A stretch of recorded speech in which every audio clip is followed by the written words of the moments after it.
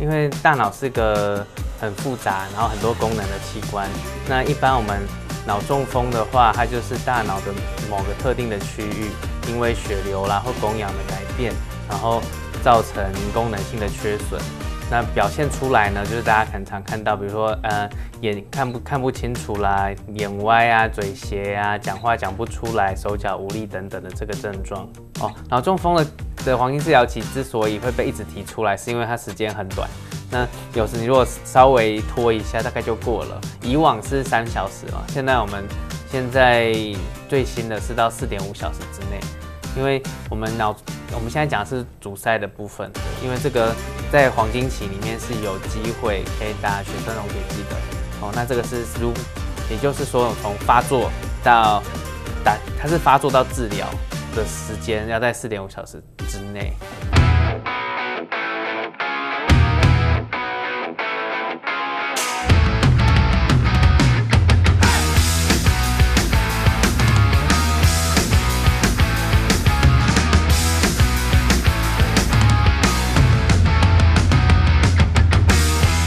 欢迎收看今天的节目哦。那我们知道啊，在国内的一个十大死因当中哦，脑血管疾病啊，其实一直长居在排名非常前面的位置。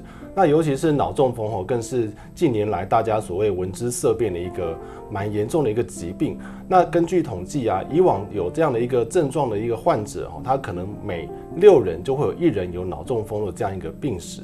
那接下来可能会进展到说，每四人就会有一人会发生中风的状况。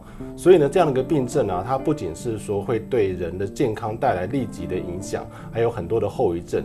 那在治疗的过程当中，哈，对啊病患的家属来讲也是非常沉重的负担。所以看待这样的一个脑中风的疾病啊，真的是要非常的谨慎小心。那也有很多的一些相关的卫教知识必须要来建立。所以，我们今天就请到卫福部桃园院的神经内科的医师邱医师来跟我们分享关于脑中风的相关的一些常识。来，医生你好。哎，主持人好，各位观众大家好，我是卫生福利部桃园医院神经内科的邱许怀医师，今天很荣幸来这边跟大家对谈，这样子。是医生，我们常常呃，对于脑中风或者是中风这样的名词啊，其实并不陌生哦。就是我刚刚讲，它也是一个所谓随着文明演进的越来越常见的一个疾病。可是，如果就以你医生专业的角度啊，你们会如何来呃定义所谓的脑中风？它是一个怎么样的一个病症呢？哦，因为大脑是个很复杂，然后很多功能的器官。那一般我们脑中风的话，它就是大脑的某个特定的区域，因为血流啦或供氧的改变，然后造成功能性的缺损。那表现出来呢，就是大家很常看到，比如说呃眼看不看不清楚啦，眼歪啊，嘴斜啊，讲话讲不出来，手脚无力等等的这个症状。是。那刚刚那些医生讲的症状，它就是因为发生中风会影响到所谓的脑部的功能，呃。进而影响到身体的一些表现嘛？是。那这个是因为什么样原因造成的呢？哦，那一般的话，我们通常报道啦，或是报章杂志，我们讲脑中风都是比较大的。那真正里面脑中风还是有分不同的类型。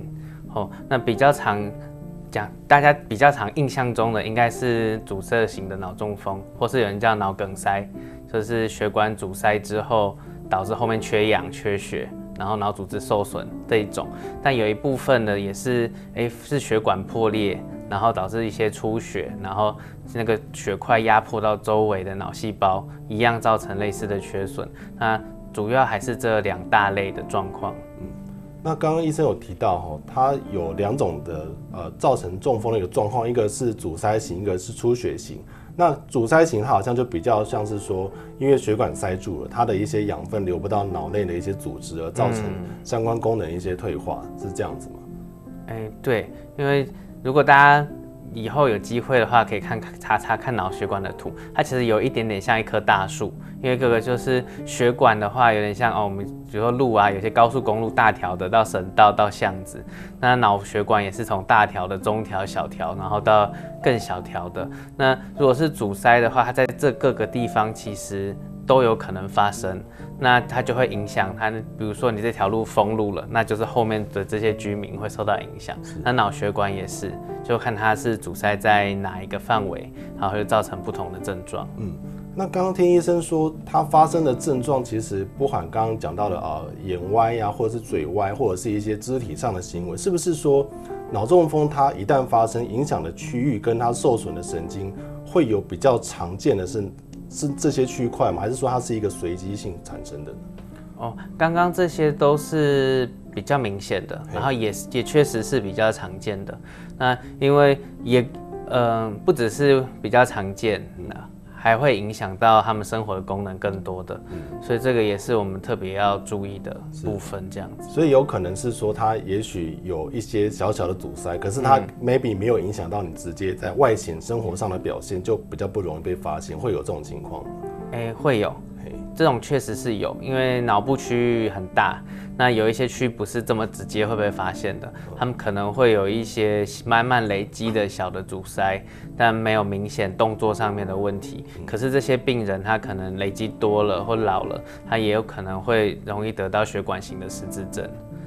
就是长长久来说，他累积的伤害让他的认知功能啦、表达能力越来越退化，甚至可以达到失智的程度。是，那呃，像医生刚刚提到的失智症啊，或者是我们也常听到的一些脑、脑脑神经病变，比如说帕金森啊，对或者是阿兹海默症，就失智症，它这些跟嗯、呃一些没有被察觉的血管阻塞会有关联吗？因为是不是有一些、有一些的那个病例是说，他去诊疗可能是在看帕金森，但是医生看了他的断电脑断层或者是一些检查的资料之后，会发现他其实有一些小中风在里面。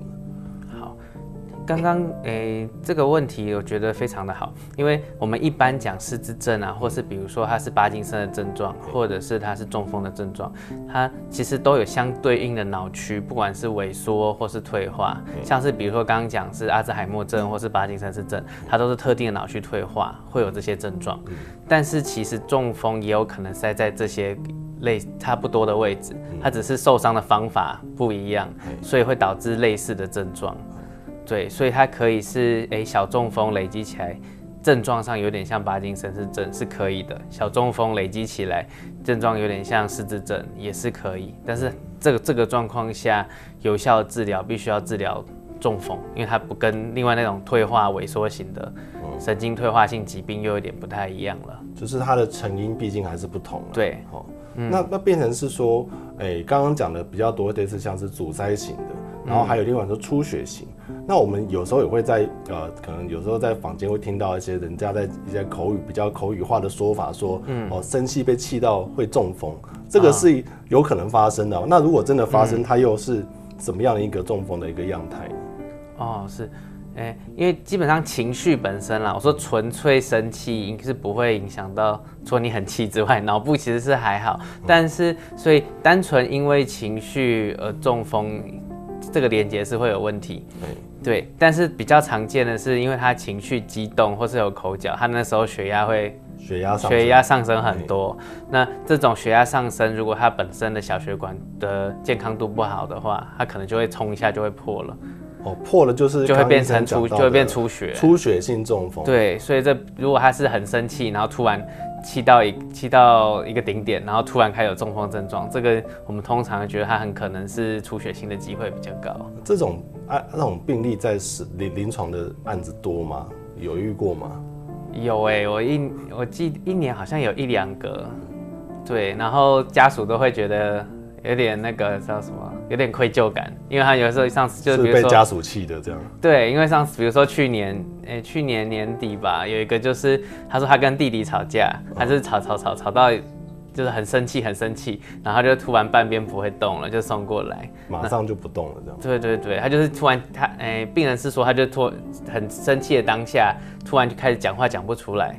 然后讲话讲不出来之后就站不太稳，就是偏偏偏偏偏往旁边倒下去，所以他的家人就是在就是在把他带来医院，然后后来是脑那个是脑出血的问题，就是当下因为太激动，然后导致血压飙高，让血管破裂。对，哦，所以说，虽然说医生刚刚说情绪不是直接影响，可是高血压就是一个风险。对，那除了高血压之外，有没有哪一些是可能在容易发生脑中风这样一个高危险族群呢？哦，脑中风高危险族群的话，基本上会影响血管健康性的都会，因为我们刚刚说，不管其实不管你是阻塞或者是出血性的，都跟你那个血管本身的健康度有点关系。那所以包括像高血脂啊，这个人的胆固醇很高嘛，然后高血压，特别是高血压如果又没有在控制的那一种，特别容易。然后糖尿病的血管也会受到影响。然后抽烟啊、肥胖啊、少运动，这些其实都会比较高风险。是，对。然后有一些，或者是有一些人年纪比较大了，他那个血管也比较老化。其实年纪光是年纪越来越大，中风风险是逐年在上升的。是。哦，其实刚刚医生说年纪大也会有这个风险的产生。不过我们知道说现在呃中风的年龄越来越年轻化嘛，所以其实。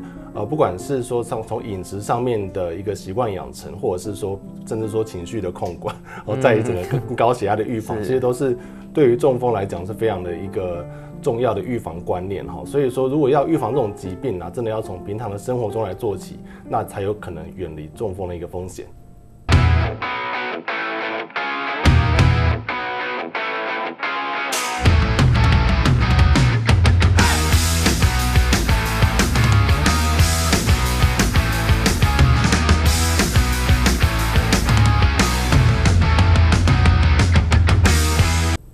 脑中风啊，它现在呃以现在的时代来看哈，已经对于大家来讲已经不陌生，也是蛮常听到一个病症。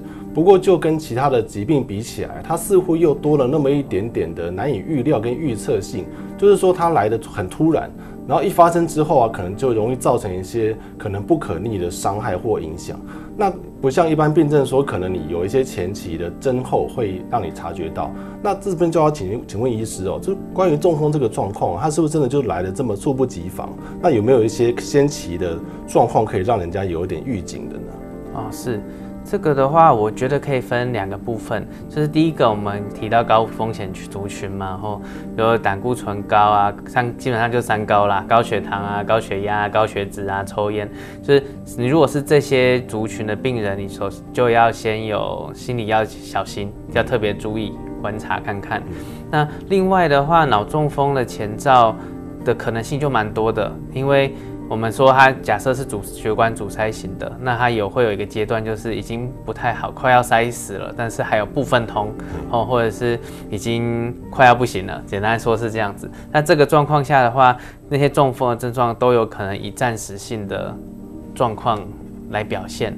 比如说，我们一般中风说啊，半边不会动啊，半边没力啊，讲话不清楚，它可能是这些东西的短暂版或者是轻微版。或者是暂时性的嘴歪，一下就恢复；暂时性的哎单边手手脚无力，哎等一下又恢复，这种就一定非常危险。那有一些是血管狭窄会影响到视力的哦，它其实就是会有一些像是我们叫黑蒙，就是会有一些像嗯以病人来说，如果是病人的话，他会有一些像是被窗帘啊或者布这样直接盖住前面。的状况啊，这个也影响到视对直接，那这个也是暂时性的，它也是诶出现之后会消失，是。但是如果有，往往这些人很可能有一些严重的颈动脉狭窄了。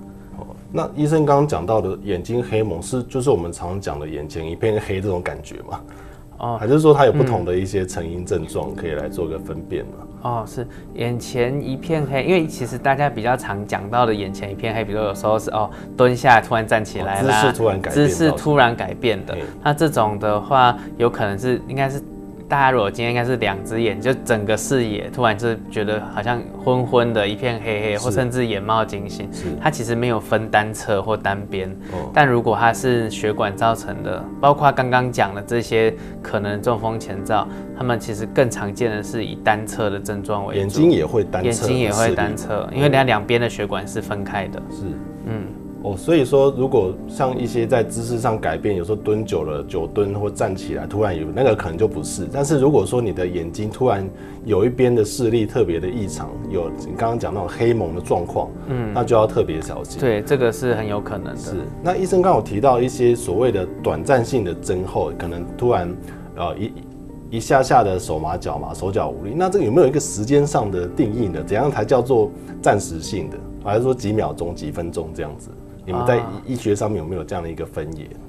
嗯，以暂时性脑缺血来说，算是我们会看看，比如说你是持续时间是几分钟或者到几个小时，确实是有。不过如果我们讲的是以前兆来讲的话，那以我们以这个没有更那非常好的统计。不过如果是几秒钟，就是那种很瞬间的，嗯，大部分都不是中风，因为它阻塞不会反应这么快。哦，就是如果是哎好像来个一两秒，然后又恢复正常，这种通常不是。但如果你是哎出现症状是可能有几分钟，或甚至是十几分钟、半个小时，这种的就非常非常可能。这种就要赶快去治疗了。对对对，那如果只有几秒钟的，通常要想想别的原因。是，好，那如果说身上已经有发现了这样的一个病症啊，就是医生刚刚讲到相关的症状，这时候还是建议马上去做治疗处理。那通常你们会来怎么样面对这种症状，会怎么样来做处置呢？你说像无力这种，对对对，暂时性的。嘿，如果有有病患上门求诊说，啊，医生突然觉得半边无力，那已经一两个小时了，这种你们会怎么做？就是他是没有恢复的嘛。嘿如果没有恢复在这么短的时间内，那你有听过那个脑中风黄金的治疗时间吗？哎，任何病行都有黄金治疗时间。那那脑中风是多久呢？哦，脑中风的。的黄金治疗期之所以会被一直提出来，是因为它时间很短。那有时你如果稍微拖一下，大概就过了。以往是三小时了，现在我们现在最新的是到四点五小时之内。因为我们脑我们现在讲的是阻塞的部分，因为这个在黄金期里面是有机会可以打血栓溶解剂的。哦，那这个是如也就是说从发作到打，它是发作到治疗。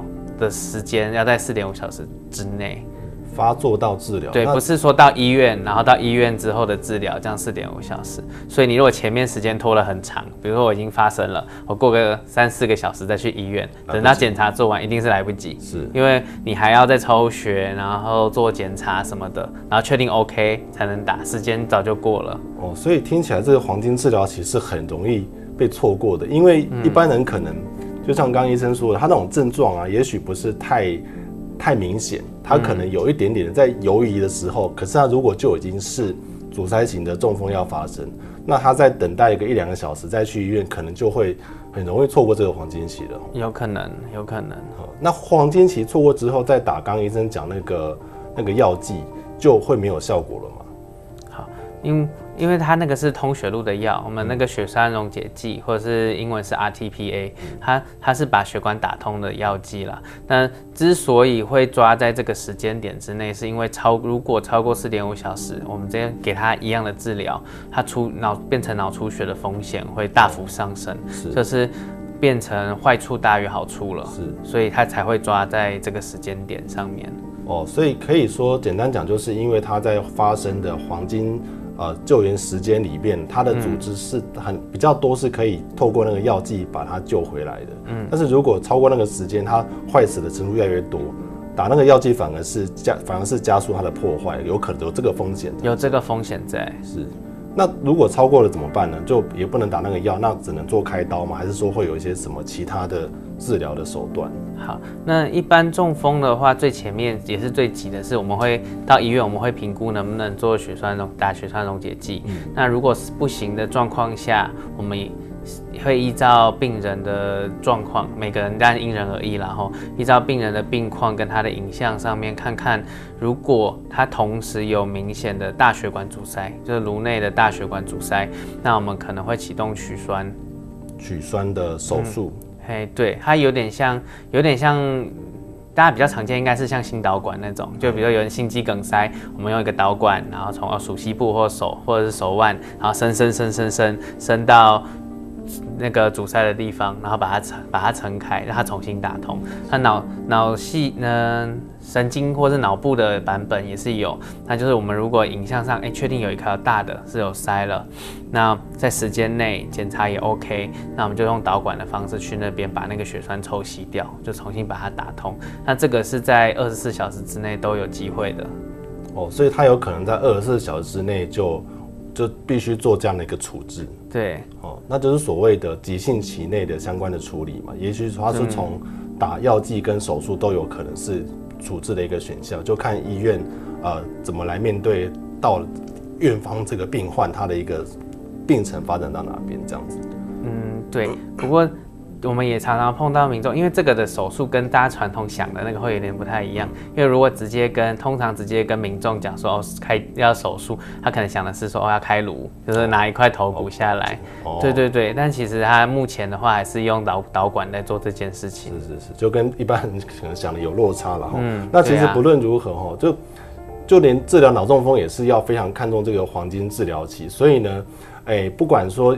自己有没有高风险族群？其实我觉得应该都把这个标准给它放宽哈，随时注意一下自己有没有一些相关的症状。如果一有的话，不要犹豫有，马上就去做处理，才有可能把握这个最好的治疗阶段，把伤害降到最低。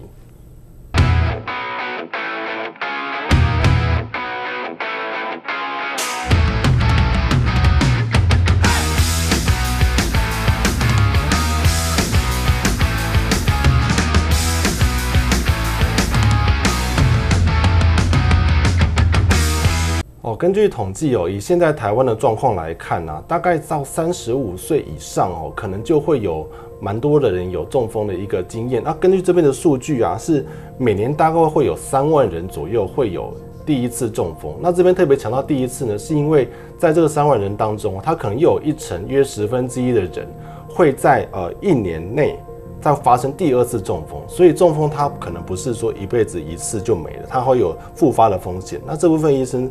要怎么来怎么来预防，跟怎么来做一个做一个判断，有没有这样的一个可能性吗？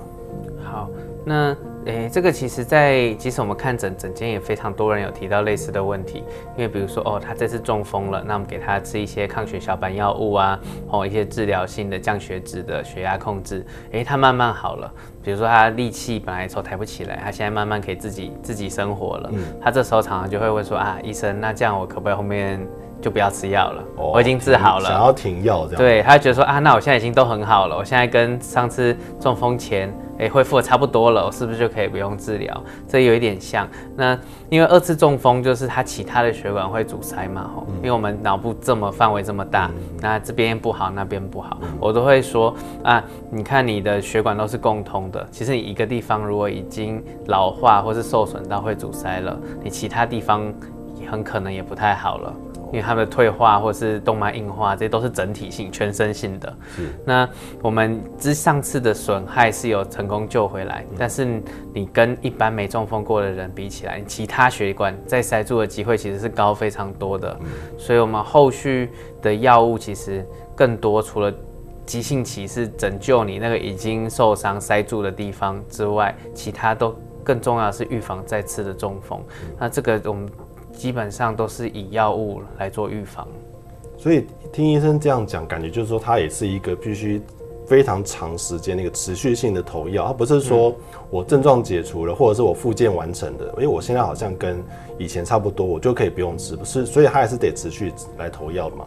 对他如果已经有发生过中风，那后面基本上就是需要长期的控制，嗯，来避免再次发作。哦，这也是等于说就是一一次治疗，就是可以说是一辈子的事情。嗯，就是要控制血压一样。对，就是要一直持续。哦，那会再复发，有一个可能性是医生说他也许中间自己停药。嗯，那还没有其他的可能说又有一些什么其他原因诱发了他第二次的中风。中风，因为中风原因有很多啦。那如果，诶，比如说举个例子，有一些人他是可能血管很狭窄了，他可能是颈动脉很狭窄，或是诶脑内就颅内的血管很狭窄。那他那个时候如果突然缺水，就是我们有像是之前有病人他他中风了，然后住院检查发现啊他是颅内的血管已经比较窄了，那我们可以吃药让他控制不要再恶化。但是呢他。有时候人有时候也会肠胃炎啊，拉肚子，就它水脱失太多了，流失太太多了，它那个本来就比较窄嘛，那它过水分不够过去了，然后也就又再出现类似中风的症状。纵使他持续在吃药，可能他会因为一些其他身体的病症，对，而诱发他中风的一个因子。有可能，有可能。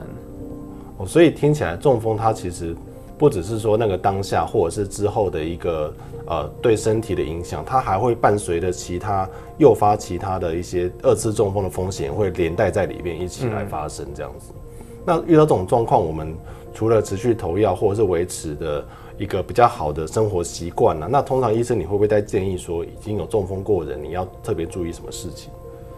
哦，一个是我还是会说他的水，诶，如果肾肾功能正常的状况下，还是要有前提，就是水分一定要很充足。水分充足很重要。水分充足非常重要，因为它阻塞型的通常血管都不血管都不好了。那血管不好，你如果水水分又不够，灌流不够，它很容易又会再再阻塞，或是水过就是养分啊氧气过不去，就会再再发作。这个我觉得是蛮重要的。然后规律的用药啦，然后让其他就是采取一些让心整体心血管，包括心血管、脑血管更健康的的状况，比如说饮食上要特别控制，因为我们目标其实药物也是要控制胆固醇啦，所以你饮食上也要控制，血压也要，因为血压你如果吃低盐一点的话，血压也会变得比较好控制。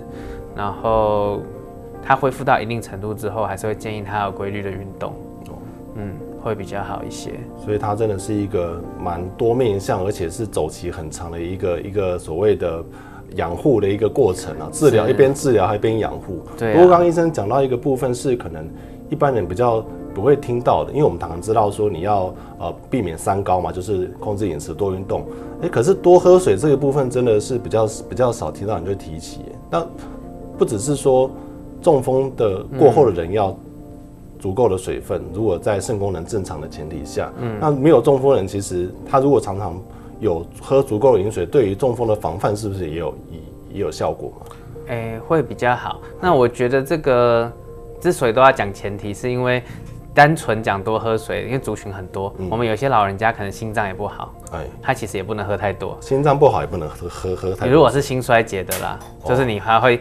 它也会变肺水肿或什么的，就是它的前提很多，所以我们一般也比较少会直接对所有人说建议说哦，大家都应该要多喝它还是。有条件上的一个对对对对对，所以这是一个原则，但是还是要看你身体有没有别，同时有别的器官的问题，比如说他心脏很不好，然后或者是肾脏有问题，嗯，哦，或者是洗肾的那种，就要控制体控制体重之类，那就难难度又更高哎，复杂度也更高。但是如果你身体没有太多其他共病症，然后其他更多的问题的话，水分充足是会比较好的。是哦，所以这个部分也真的是，诶、对一般人来讲是蛮受用的一个知识了哈。不过就在处理中风这一块啊，医生有没有听过说，在坊间或者是送到医院前，你有听到一些蛮奇怪的一些民俗疗法，有没有跟大家来做一个观念的导正嘛？有没有什么一些一些比较不适切的处理方式可以跟我们分享一下？哦，这个其实有时候会碰到、哎，就是